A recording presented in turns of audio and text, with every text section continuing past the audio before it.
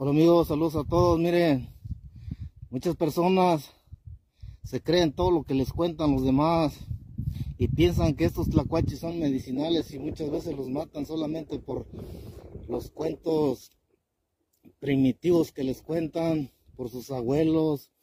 Ah, pero en realidad, si estos animales fueran medicinales, pues los doctores los habían de recomendar en vez de darles pastillas.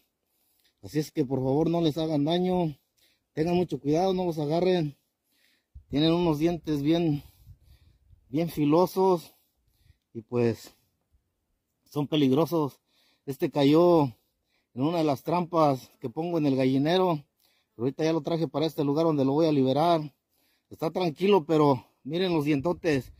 Ah, le voy a hacer presión para que vean los dientes solamente. Para que vean que son peligrosos. Pero, ay güey, no necesité hacer